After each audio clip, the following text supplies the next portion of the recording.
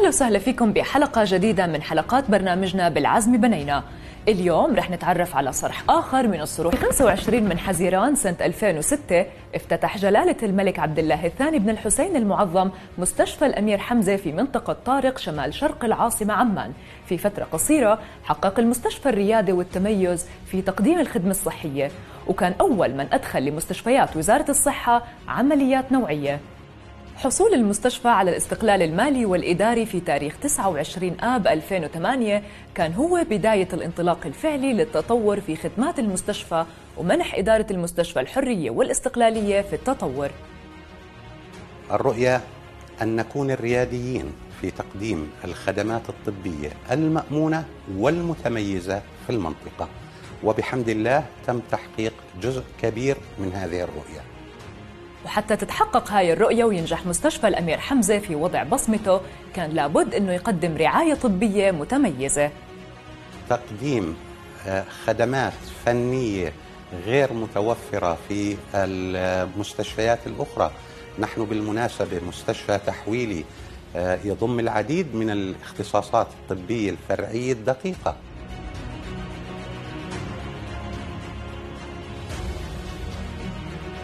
مستشفى الأمير حمزة حصل على الاعتماد في العديد من التخصصات المهمة اللي زادت عن عشر تخصصات منها الجراحية ومنها الأشعة التشخيصية والعمل جاري على الحصول على المزيد من الاعتمادات.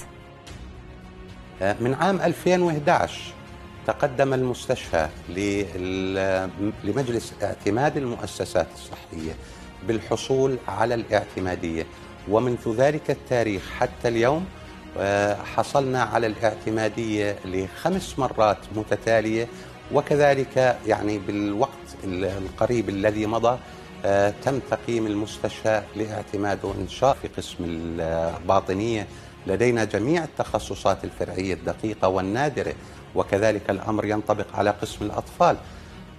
أيضا تم إجراء العديد من العمليات الجراحية النادرة وبمختلف الأقسام الطبية باختصار إحنا بنقدم جميع الخدمات الطبية للمرضى باستثناء الصحيح التوليد والخداج لعدم وجود قسم توليد وهذا بالمناسبة على مخططاتنا موجود وإن شاء الله بالمستقبل رح يتوفر.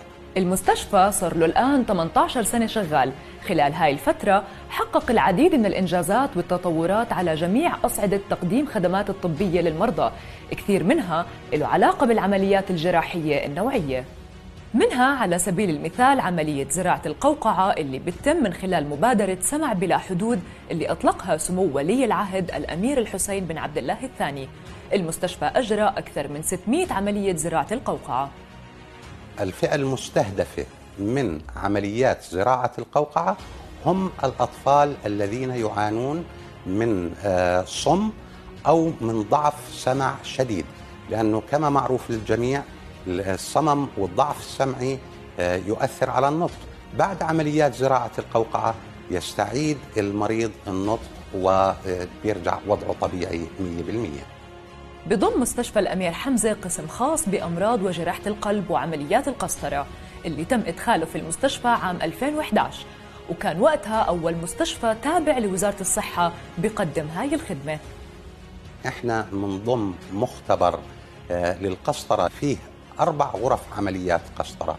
يتم إجراء عمليات قسطرة للبالغين وللأطفال وأيضا الأطراف السفلية بمساعدة الأشعة التداخلية. جدير بالذكر أنه المستشفى أيضا يقدم فيه خدمة كهربائيات القلب. وهذه الخدمة يعني حصرية بمستشفيات وزارة الصحة تقدم بمستشفى الأمير حمزة. أيضا إحنا فخورين فيه عمليات القسطرة القلبية للأطفال. بواسطة القسطرة القلبية للأطفال تم مؤخرا إجراء العديد من العمليات لإغلاق تشوهات قلبية بقلب الأطفال أغنتهم عن عمليات القلب المفتوح. كذلك أيضا بالمستشفى هناك قسم لجراحة القلب للبالغين يتم بمعدل عملية واحدة يوميا كل يوم عملية قلب مفتوح بهذا القسم. والقسطرة القلبية يتم فيها بمعدل من 35 إلى 40 حالة قسطرة يوميا. مستشفى الأمير حمزة يجري العديد من العمليات الجراحية المتميزة وفي مختلف الأقسام الطبية. ما يميزنا أيضا عمليات جراحة الأعصاب. الآن عمليات ال disc أو اللي بنسميها الانزلاقات الغضروفية يتم إجراءها في مستشفى الأمير حمزة كعمليات يومية تحت البنج الموضعي وبالمنظار. يدخل مريض ال disc أو الانزلاق الغضروفي صباحا ويتم تخريجه من المستشفى بنفس اليوم مساء آه، بصحة وبعافية وبتحسن آه، من الأعراض المشكو منها. أيضا مؤخرا بعمليات جراحة الأعصاب تم إجراء عملية إزالة ورم دماغي تحت البنج الموضعي. المملكة فيها أكثر من خمس آلاف مريض بيغسلوا كلى بسبب الفشل الكلوي. هاي الخدمة بيقدمها مستشفى الأمير حمزة من عام 2006 قسم غسيل وزراعة الكلى فيه الآن 23 جهاز ثابت لغسيل كلى وجهازين متنقلين. المستشفى بشجع مرضى الفشل الكلوي إنهم يعملوا عملية زراعة الكلى كونها أحسن وأسلم. إحنا الحمد لله بدأنا في هذا البرنامج من عام 2007 بدأنا في أول حالة زراعة كلى. بعدين في 2009 استمر البرنامج بطريقة منتظمة وزرعنا للآن أكثر من 400 حالة زراعة. والحمد لله رب العالمين نسب نجاح العمليات هي ضمن النسب العالمية الموجودة في كل العالم والإقبال شديد وكثير من المرضى بيحاولوا إنه يكون التحويل عن طريق التأمين الصحي أو عن طريق وزارة الصحة إنه يكون العملية تجرى في مستشفى الأمير حمزة.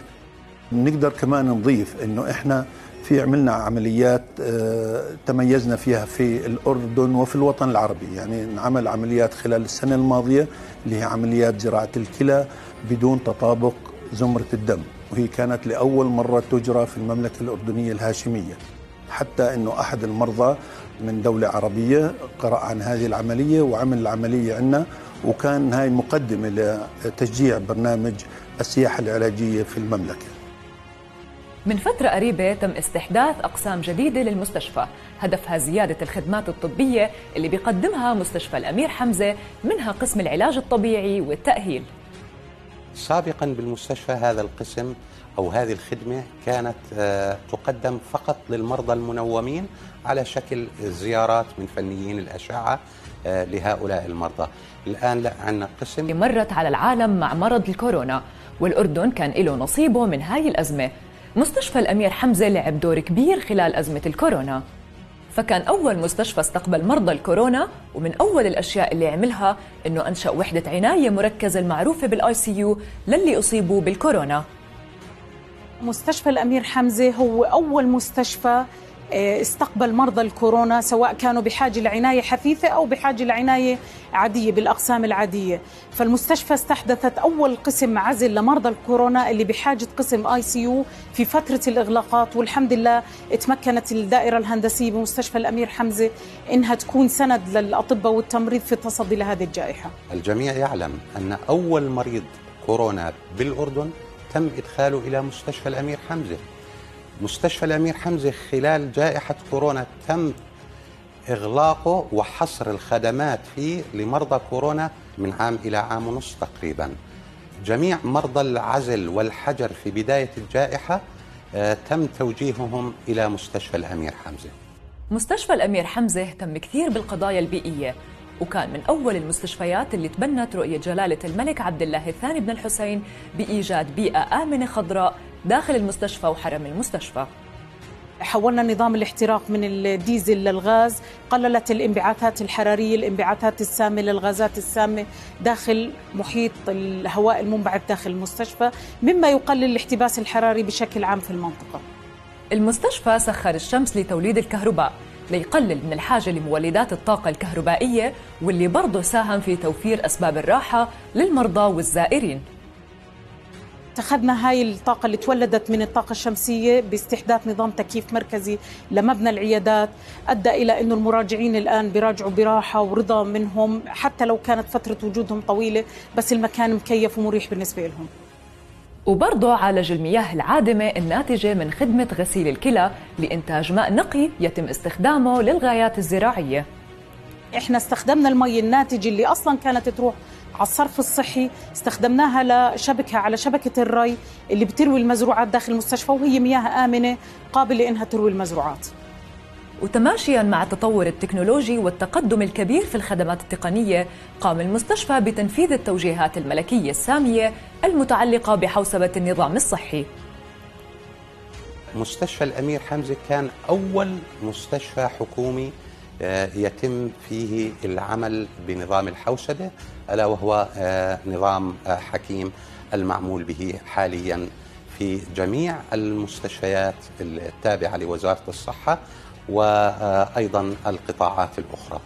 من فترة بسيطة أنشأ مستشفى الأمير حمزة مركز التدريب والدراسات فيه غرف تدريب ومهارات ومحاضرات المركز بيعقد دورات وورشات تدريبية وتعليمية متنوعة معتمدة من مختلف المجالس والنقابات الطبية. نعمل على تطوير برامج تدريبية آه، على أسس علمية دقيقة آه، نظريا وعمليا في مختلف المجالات آه، منها مثلا تخطيط أعصاب الدماغ غسيل الكلى المختبر وكذلك صدى القلب والقسطرة. نستقبل المتدربين من كافة مستشفيات وزارة الصحة ممكن أيضا عن طريق المؤسسات الحكومية والخاصة. وكذلك بشكل فردي تتيح الفرصة بهذه البرامج التدريبية للمتدربين حتى يتلقوا تدريب مبرمج منهجي على أسس علمية وبنتائج أفضل. ونقوم كذلك بعقد دورات الإنعاش الرئوي أو دورات دعم الحياة المتقدمة والبسيطة. لكافة الموظفين والمعنيين بهذه الدورات هناك دورات الأطفال إنعاش القلبي المتقدم للأطفال وكذلك نسعى لعقد دورات متخصصة لمرضى الإصابات.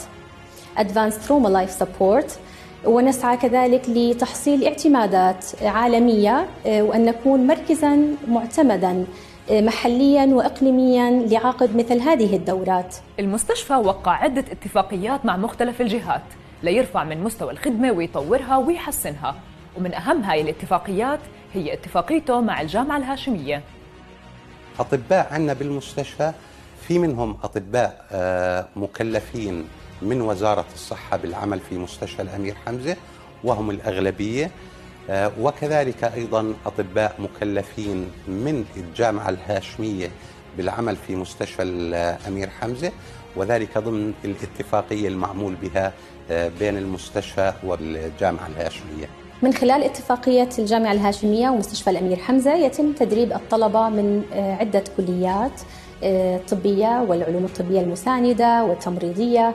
يتم تدريبهم في أقسام مستشفى الأمير حمزة بمراحل مختلفة. وكان مؤخرا استخدام أو استحداث برنامج الاختصاص العالي في الطب.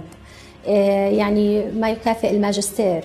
يسجل الطالب في الجامعة الهاشمية كلية الدراسات العليا في تخصص اختصاص عالي في الطب في أحد التخصصات الأربعة المتاحة حاليا الأطفال النسائية الجراحة والباطني.